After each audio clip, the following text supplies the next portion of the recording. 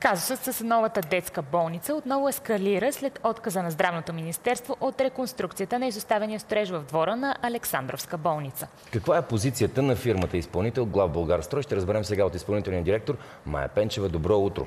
Добро утро, госпожо Пенчева. Добро утро. Изключително ми приятно, че съм тук. Да започнем с този важен въпрос. Когато получихте, т.е. когато излезе отказа на Министерството на здравеопазването за реконструкцията на сградата, вие получихте ли уведомление за това? Не. Все още към днешна дата ние нямаме никаква официална документация, преписка, писмо, обаждане дори от Министерството на здравето. Ние всъщност през вас медиите разбрахме с писмото, което беше, всъщност дори не през вас медиите, по изключително странен начин, че а, възнамерява да прави нещо Министерство на здравето. Ние работим, продължаваме да работим и всъщност това днес сме дошли да кажем. Какво сме направили, какво сме извършили и докъде сме стигнали. Имате ли обяснение защо не сте получили такова уведомление от Здравното министерство? Предполагаме, че става въпрос за някакво объркване или за грешка. Аз дори считам, че такова писмо най-вероятно няма. Няма логика ние да не получаваме писма. Нали? Изглежда изключително странно. А, защо е нарушена комуникацията в, в този случай? Всъщност ние поискахме многократно срещи с Министерството на здравето. Получихме една на 1 юни, на която обсъдихме, беше изключително продуктивна, много интересна среща, на която лично зам министър Димитър Петров ни обеща, че ще направи всичко възможно детската болница да се случи. Оттам нататъка последва среща с друго Министерство на регионалното развитие, отново обещание, че детската болница ще се случи. Взеха се много решения, които всъщност останаха само думи. Какво ще се случи според вас сега, ако наистина се рестартира целият този процес? Ако наистина процесът се рестартира, което аз искрено се съмнявам и по-скоро се надявам да не се случи, означава, че ние сме загубили заедно с вас и всички ние три години в това да стигнем до тук, до където сме. Защото направата на една обществена поръчка, избора на терен, градоустройството. Всичко, което ние сме направили през последните няколко години, означава, че трябва да започне на ново. Избора на нов терен сме слушали за няколко варианта през годините, но това е най-подходящия терен, който може да намерите в София. Комуникативен, с транспортна инфраструктура, с изградена здравна инфраструктура, защото всички болници са в съседство. А, а военна болница, Пирогов, Да, чували сте много близо. също и вие медиите, че имаше хипотези да бъде в болница Лозенец, да бъде в някакъв терен на столична община, да бъде в парк Витуша. Дали, хипотезите са много, но Защо решението смятате, е едно. че това е най-добрият терен? Ще ви цитирам доцента Боряна Аврамова, която ни беше на гости само преди дни, която а, каза, че старият строеж е морално, морално отстарял и е проектиран преди повече от 50 години. Това е точно така.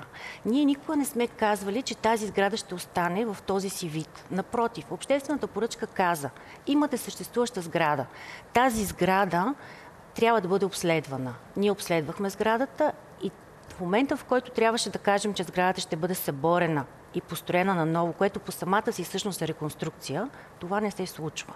Ние сме готови с проект, ние сме готови с градоустройство, ние сме готови с цялата извървяна процедура, дори преди да сме получили зелена светлина. В един момент се казва, или може би, най-вероятно става въпрос за някакво неразбиране, пауза. Ние считаме, че проектът трябва да продължи. Мислим си, че дори а, сега е сублимния момент това да се случи, защото вие, медиите и хората искат и имат нужда от детска болница. Да ви попитаме така, политическо или по-скоро здравно решение виждате в а, това, което се случва сега? По-скоро е някаква липса на комуникация или координация. Разбирате ли, прекалено се случиха нещата, експ някак си стана някакво неразбиране между всички институции. Смяна на няколко министри, смяна на няколко правителства. Все още нямаме редовно правителство. По-скоро е някакво неразбиране. Някак си самия проект попадна в центъра на, на тоталното неразбиране. Проектът е там, той трябва да бъде там. Изговориха се много неща, че сградата ще изглежда в този вид. Няма такова нещо. Никога не сме мислили сградата да изглежда в този вид. Винаги е била нова но под термина реконструкция. Струва ми се, че по-скоро а, изгубихме време в това какво да, съ, какво да съвместява болницата. Това е по-сериозният проблем. Не как ще бъде построена, не кой ще бъде изпълнителя. А, центъра и, и основният Не са ли всички детайли много важни за тази детска болница? И... Дори това как ще изглежда самата болница, как ще бъде построена, кой ще бъде изпълнителя? Разбира се, че са важни, те са обществено достъпни. Както знаете, всяка една обществена поръчка се публикува в Агенция за обществени поръчки и в сайта на Министерството на здравеопазването. Както всяка една и тази поръчка е качена. За ще ви обърна внимание кога е, кога е подадена офертата на изпълнителя. На 9 юли 2019 година е започнала тази сага. За да излезе обществената поръчка, нали разбирате, че поне година преди това Министерството най-вероятно е подготвяло цялата документация. Две години по-късно, след като имаме подписан договор, имаме аванс, имаме готов проект, имаме градоустройство, все още не може някой да каже старт. Това какво ви говори на вас? На вас какво ви говори по, по-важното? Вие какво мислите, че се случва всъщност? Струва ми се, че просто трябва още една стъпка да се направи. Прекалено много се даде фокус на хора, които те, а, хора, които не са против болницата. Напротив, аз съм, аз съм убедена, че всички сме хора, всички сме родители, всички искаме да има детска болница. Стана неразбиране за това как ще изглежда тази детска болница. Искам да ви обърна внимание, че има анализ на детските нужди. На базата на този анализ е направена техническата спецификация. На базата на техническа спецификация е изграден търга за изпълнител. Изпълнението на инженеринг и проектиране и строителство. Избран е изпълнител, избран е надзор, избран е инвеститорски контрол. Чакаме само зелена светлина за градостройство и разрешение за строителство. Къде е този анализ за нуждите, за който говорите, тъй като а, пак имахме гост от а, Националната гражданска инициатива за истинска детска болница. Те казват, че няма такъв анализ. Така, анализа на, детски, на анализа за нуждите за изграждане на детска болница е функция на Министерството на здравеопазването. Такъв анализ беше показан неколкократно на срещите, които ние провеждахме. Това е вътрешен документ на Министерството, който е на разположение на всеки, който поиска да го получи. Това не е част от обществената поръчка, ние не разполагаме с него, но на тази база е изградена структурата на нашия търг. За да реши Министерството и да вложи тези средства в тази сграда, то трябва да има някаква обективна причина. И тази причина е точно този анализ.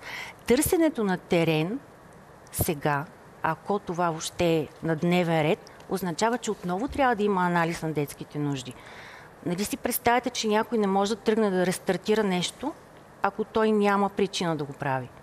Казахте, че 42 месеца са нужни за изграждането на тази болница, което включва и пълното и събаряне. Точно така.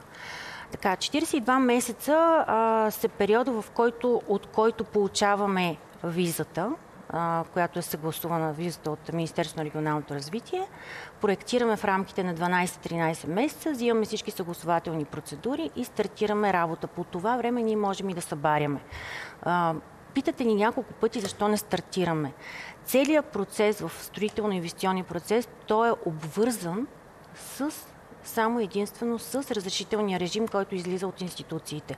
Ние разчитаме изключително много, че институциите най-накрая ще погледнат на нас не като не фирма изпълнител, а като кауза. Ние пак говорим за детска болница. Ние не говорим за един строеж. Колко голяма залогът, ако тази детска болница не се случи в следващите най-близко бъдеще 2-3 години, да кажем? не искам да, да звуча, не искам от мен да излиза като а, песимистично изявление, но искам да ви кажа, че този процес, ако се рестартира с търсене на нов терен, с направа на нов анализ, както вие споменахте преди малко, ако се налага, с търг за проектиране, с търг за градоустройство, с търг за строителство, с търг за надзор. Това са 7-8 обществени поръчки, които във времето сами разбирате, че след 10 години, и това оказвам най-отговорно, евентуално може да имаме детска болница. И това на фона на на фактите, че ние сме готови да стартираме в рамките на месец, два. очакваме само няколко съгласувания. Нещо много интересно. След ваша среща с регионалното министерство имаше такава информация, че се дава светле, зелена светлина за ниска сграда. Защо тази сграда за детската болница не може да бъде висока? Каква е причината? А, подходите са два. Значи, а, винаги от самото начало е имало два варианта – Единият вариант е да вървиме в а, висока сграда, т.е. да направим реконструкция на високата сграда. Това означава да освоим стария устройствен план. Втората хипотеза е да направим ниски сгради по новия подробен устройствен план до 20 метра. Ние се огледахме много внимателно в а, обществото. Видяхме, че това, което се харесва, може би е наистина ниска сграда. Ние имаме проекти и за висока, и за ниска сграда. Това, което представихме, а, считаме, че към момента е най-разумното, най-практичното и най-функционално решение. Генерално, според вас, защо наистина този разговор за детска болница в крайна сметка се а, промени за това колко да, да, да, да е висока, каква да е фасадата? А, генерално моето мнение е, че това е по-лесния начин. А, прекалено много са другите проблеми. Това е по-лесния начин да се говори за нещо, за, кое, за което, което всички разбират. Да говорим за фасада, да говорим за визия, да говорим за, за неща, които можеш да пипнеш и да видиш. Кръгълния камък, истината тук е, че всъщност болницата е функция, тя е предназначение, тя е концепция, тя е а, с грижата за детето. Детската болница обслужва децата, нашите, паци... наш... нашите деца и пациентите. Тя е съвършенно различна концепция. Благодарим много за, за този разговор. Очакваме да видим какво ще бъде развитието на този казус. Майя Пенчева, изпълнителен директор на Глав Българ Строй в студиото на България сутрин.